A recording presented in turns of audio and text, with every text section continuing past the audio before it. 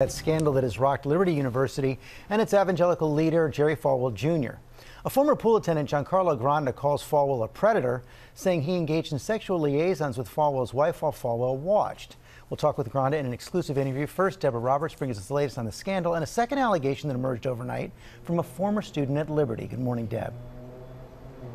Good morning, George. Yeah, this is a scandal that seems to grow deeper and wider by the day for a man who was once at the top of his game in Christian conservative circles.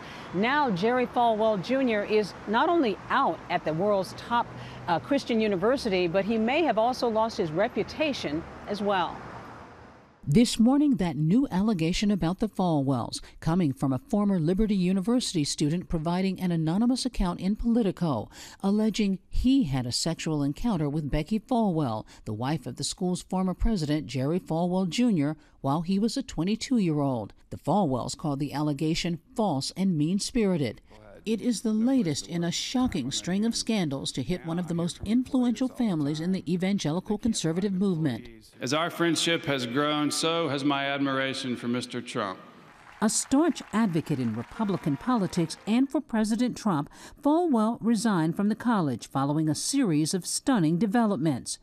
First, a racy photo he posted, then took down from social media with his arm around his wife's assistant. He apologized for posting it, saying it was just in good fun from a costume party. Then, that first jaw dropping allegation of sexual impropriety that directly goes against the school's strict moral code. We are so proud of our students here at Liberty. And it's, it's, just such an honor to be able to serve alongside them. And we try to teach good family values and good morals. Falwell accused by his 29 year old former business partner, Giancarlo Granda, of being aware of and even observing Granda's affair with Falwell's wife, Becki, though Falwell denies any involvement.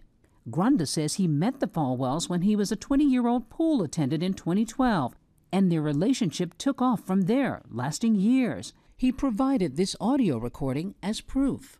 His new thing is like telling me every time he hooks up with people, like, like I don't have feelings or something. You don't make us jealous. Yeah. not trying to do that. Granda says he vacationed with the Falwells, even went into business with them, owning a Miami youth hostel.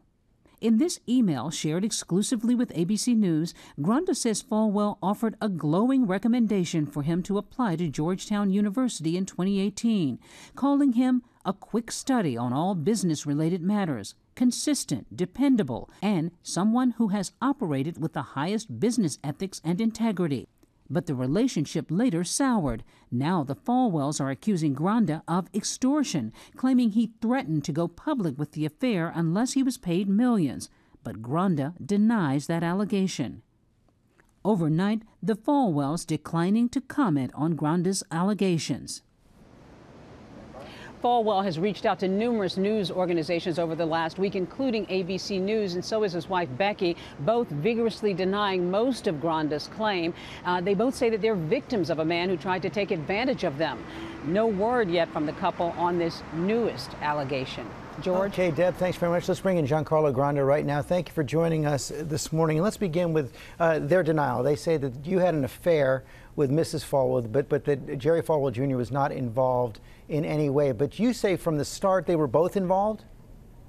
Uh, first off, thank you for having me on. Um, and Jerry's line. Um, that was his game plan from the beginning to just throw her under the bus, um, which I, I think speaks a lot about who he is, about his character.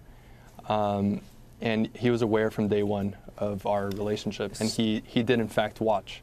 So how would that work? What describe the encounters? So let's go back to when I first met them. I was 20 years old, working at the Fontainebleau Hotel, um, working my way through college, and you know I'm talking to some guests, and I, I noticed this woman behind me staring at me, and she was noticeably drunk, um, and she was just flirting with me, you know, and then we started flirting back and forth. Um, and then towards the end of my work shift, she's like, hey, would you want to go back to my hotel room? And as a single 20 year old, I'm like, yeah, of course.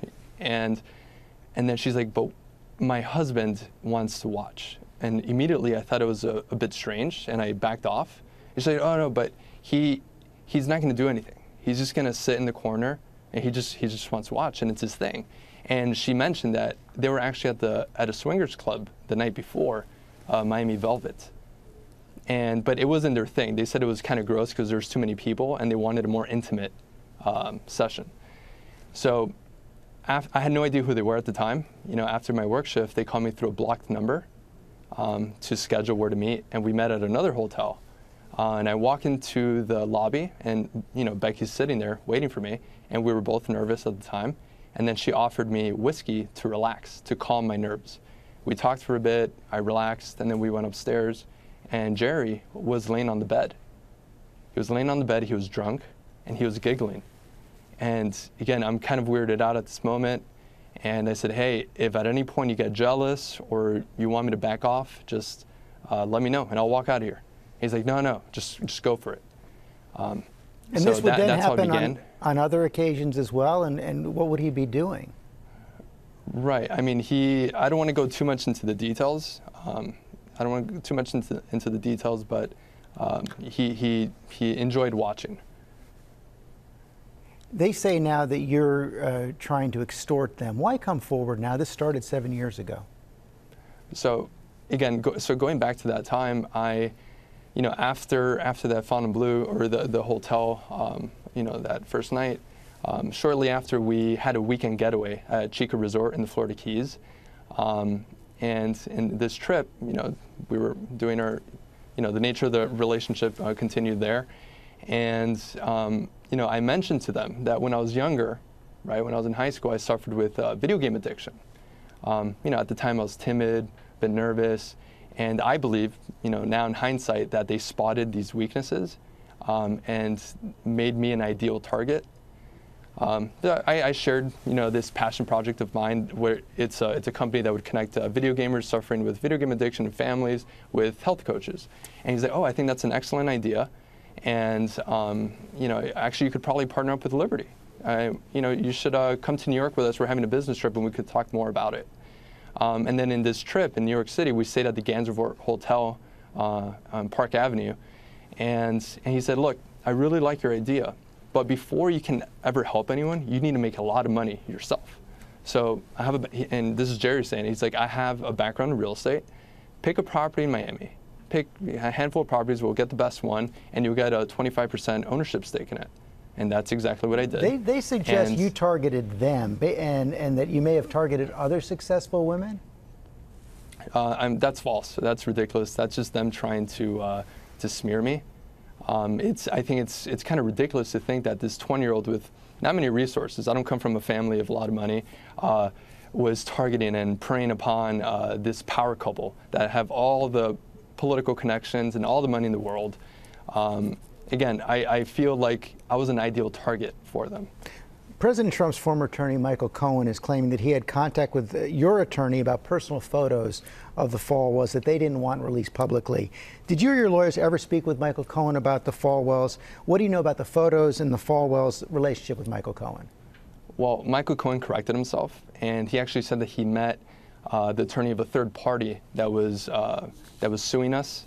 Uh, there was a demand letter where they were threatening to expose the nature of this relationship, um, and that's you know the best of my knowledge that's what went on, and I, will never forget it. Uh, winter 2014, you know around um, November, December, um, Becki called me and she's like, uh, "Hey, that lawsuit in Florida." uh, you know, those guys that are suing us, don't worry about it. Michael Cohen's going to take care of it, something to that effect. And um, I had no idea who he was. I didn't know him. I'm like, okay, all right, great. We don't have to worry about this. Um, because again, they were trying to, they were threatening to reveal the nature of this relationship. And I lived through hell at that time. I was going, it was a nightmare. Um, so that, that's all I have to say about that. What do you want to happen now? I've been wanting to cut ties. Again, I have an equity stake in the company, which they offered. I have an equity stake in the company. It has value. And I want to cut ties.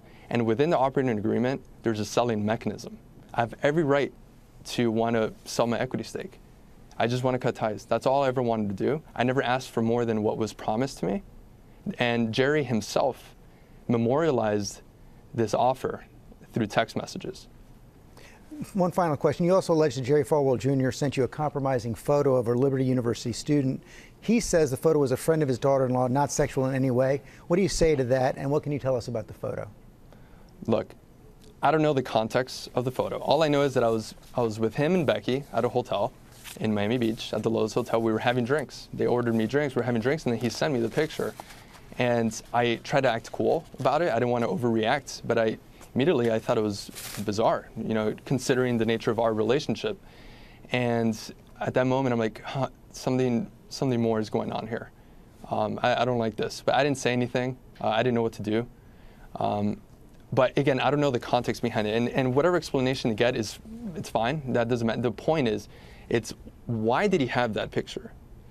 Why did he share it? And why was he joking about it? He publicly said that he was joking about it. I think that's, that should raise uh, some questions. John Giancarlo Granda, thanks for your time this morning. Yeah, thank you.